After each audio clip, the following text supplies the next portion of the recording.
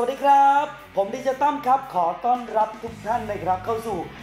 รายการประกาศผลการออดิชั่น เป็นช่วงเวลาที่หลาย ๆ คนนะครับ รับนับ 1 2 3 วัน 4 วัน ผ่านไป 10 วันตั้งแต่วันที่ 1 มีนาคม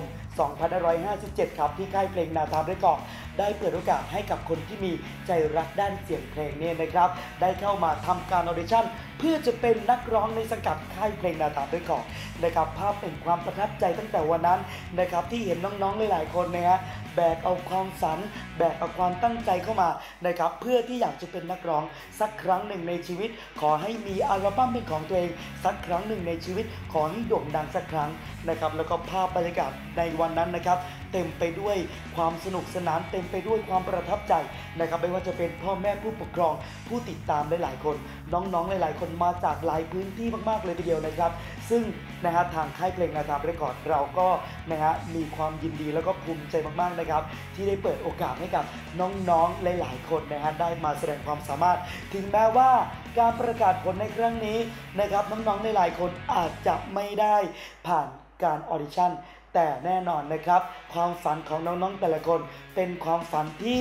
สูงสุดนะครับ แบกเอาความฝันนี้ไปไว้สูงสุดครับคำคอมเมนต์ของคณะกรรมการในวันนั้นนะครับ ให้น้องๆทุกคน เก็บเกี่ยวเอาประสบการณ์ที่มีอยู่พัฒนาตนเองไปเรื่อยๆนะครับเส้นทางของวงการดนตรีมันยังอีกยาวไกล แต่สำหรับวันนี้ครับ งานประกาศผลการออดิชั่นนะครับนะฮะของค่ายเพลงนาทามเรคคอร์ดกำลังจะเริ่มขึ้นแล้วครับ แล้วก็ในวันนั้นนะครับเราได้มีโอกาสนะครับได้ต้อนรับศิลปินดังๆ หลายท่านเลยทีเดียวนะครับ ต้องขอขอบคุณด้วยนะครับไม่ว่าจะเป็นพี่สนุกสิ่งมากนะครับจากร็อกแปดแสนนะครับให้คำปรึกษาให้คำแนะนำในการ ที่จะเดินทางสู่วงการเส้นทางของการเป็นนักร้องนะครับความยากลำบากมันมากมายเพียงไหน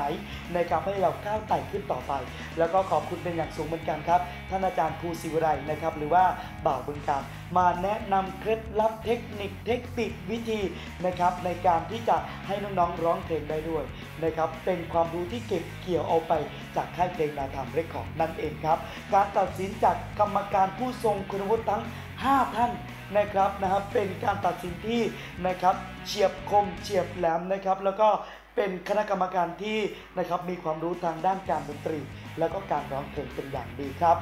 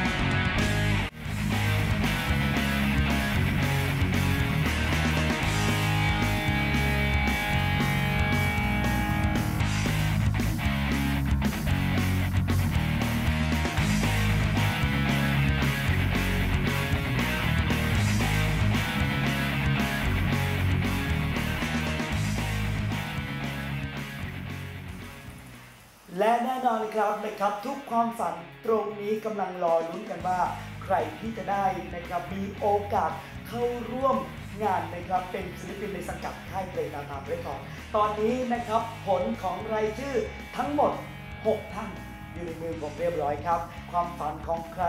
นะฮะจะเดินทางมาถึงความจริง และความฝันนั้นนะครับจะนำน้องๆไปสู่ดวงดาวได้หรือไม่นะครับรายชื่อผู้ผ่านการออดิชั่นค่ายเพลงนาทามเรคคอร์ดครับ ประจำปี 2557 คนที่ 1 ได้แก่ นางสาวอภิญญาศีระบุตร หรือว่าน้องเดียจากจังหวัดร้อยเอ็ดครับ โชว์ฝีไม้ลายมือในการร้องแล้วก็ออดิชั่นที่สุดยอดมากๆ เราไปชมผลงานของน้องเดียครับถ้าไม่ใครสุดหัวใจ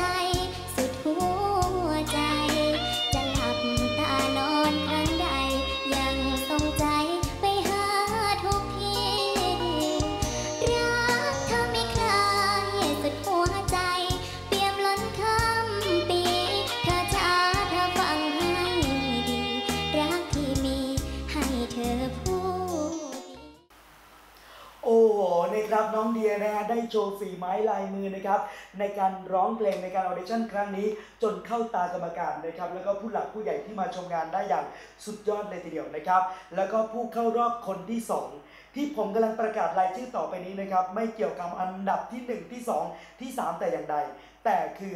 6 ท่านผู้เข้ารอบการออดิชั่น ผู้ผ่านการออดิชั่น ของค่ายเพลงนาทามเรคคอร์ดครับ ท่านที่ 2 ที่ผ่านการออดิชั่นได้แก่ นายภาคภูมิพานสงวนหรือน้องภาคจากจังหวัดกาฬสินธุ์ไปชมฝีไม้ลายมือในการออดิชั่นในวันที่ 1 มีนาคมที่ผ่านมาครับแทนจะคราวได้บ่ถ้าบ่คือต่อผู้บ่าวคนนั้น ให้เจ้าหายเศร้าเพียงแค่ผ่านพ้นวัน แล้วกลับไปหาคนนั้นเขาคงไม่ว่าอะไรสองท่านผ่านไป ความตื่นเต้นเริ่มมากขึ้นครับทุกท่านครับสองท่านที่ผ่านเข้ารอบบอกได้เลยนะฮะว่าฝีไม้ลายมือสุดยอดเลยทีเดียวนะครับ ผ่านเข้าตากรรมการ หลายท่านฟังอยู่ในงานวันนั้น ถ้าใครที่อยู่ในงานวันนั้น บอกได้เลยว่าขนลุกกันเลยทีเดียวครับสำหรับท่านที่ 3 ที่ผ่านเข้ารอบการออดิชั่นการเป็นศิลปินในค่ายเพลงนาธาม Record ได้แก่ นายวิรัต ลำเพ็ญหรือว่าน้องอ้นจากจังหวัดนครพนมครับ ฝีไม้ลายมือในการออดิชั่นวันนั้นสุดยอดเลยทีเดียวไปชมกันครับ เสริงไม่หลอกขอพรต่อหลวงผู้สุข ขอจงช่วยลูก สะกดให้มีมนต์คลัง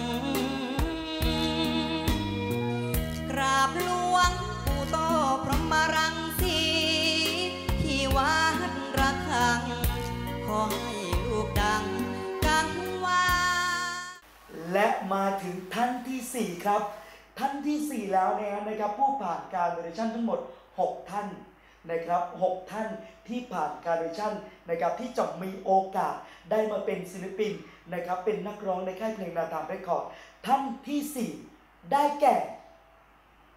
นายสุทัศน์นันทชัย หรือว่าคุณเอกจากจังหวัดบึงกาฬครับ ไปชมฝีไม้ลายมือในการโชว์ออดิชั่น ฝีมือในการร้องเพลงที่มัดใจกรรมการในวันนั้นได้เลยครับทอดดวงหน้าคำมาหลับตาฝันเห็น แค่ตาสะเม็นก็ใจเต้นขึ้นไปนานะยานเจ้ามีใหม่อยู่ไกลบังใจบังตายานคำสัญญาผู้คนใกล้ แล้วก็มาถึงท่านที่ 5 ความตื่นเต้นเริ่มมีมากขึ้นครับนะครับผมรู้ว่าหลาย ๆ ท่านกำลังรอลุ้นรวมถึงพ่อแม่ผู้ปกครอง รวมถึงน้อง ๆ ที่มาเข้าออดิชั่นในวันนั้น ใครจะเป็นคนที่ 5 ที่ผ่านเข้ารอบการออดิชั่น ในค่ายเพลงนาธาม Record ครั้งนี้ท่านที่ 5 ได้แก่ นางสาว สาวิตรี บุตรพรม หรือว่าน้องปูเป้จากจังหวัดสกลนครไปชมฝีไม้ลายมือในการโชว์ออดิชั่น มัดใจกรรมการแบบเต็มๆกันเลยครับ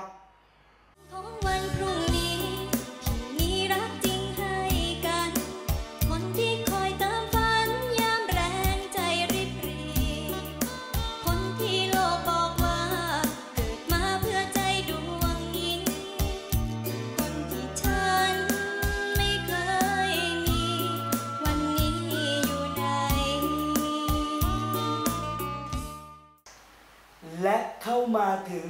คนสุดท้ายที่ผ่านเข้ารอบการออดิชั่นในค่ายเพลงนาธาม Record ครับ ช่วงเวลาแห่งความตื่นเต้นแล้วก็ทะเลาะกันระทึกใจ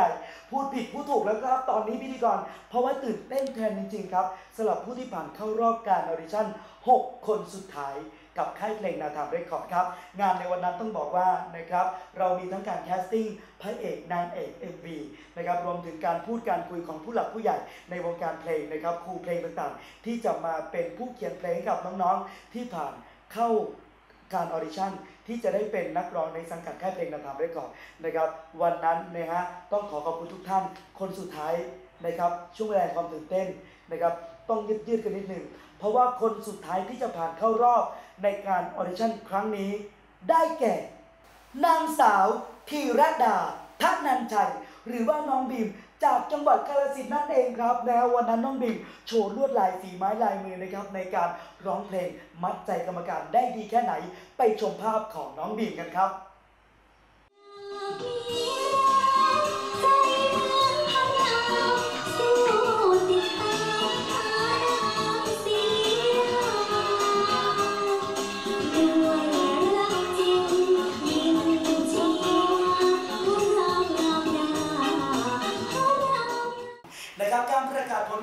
ชั่น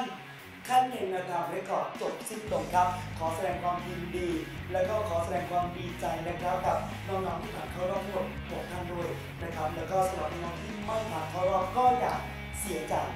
เดินตามความฝันต่อไปครับ ขอบคุณค่ายเพลงมาทำเรคคอร์ดที่สร้างโอกาสดีๆแบบนี้ ให้กับทุกๆท่านนะครับให้กับน้องๆเยาวชนได้ไต่เต้าความฝันนะครับ ที่จะเป็นบันไดก้าวหนึ่งสู่ดวงดาวสำหรับวันนี้ครับการประกาศผล นะครับผู้ผ่านการออดิชั่นค่ายเพลงนาธาม Record ได้จบสิ้นลงครับสำหรับผมที่จะต้องขอขอบคุณครับ ต้องขอขอบคุณทุกๆท่านแน่นอนครับ ที่ร่วมเป็นส่วนหนึ่งกับเรา ร่วมสร้างความฝันกับเรา โอกาสหน้าเราคงได้มีโอกาสได้ร่วมงานและก็เจอเจอกันอีกครั้งครับสำหรับวันนี้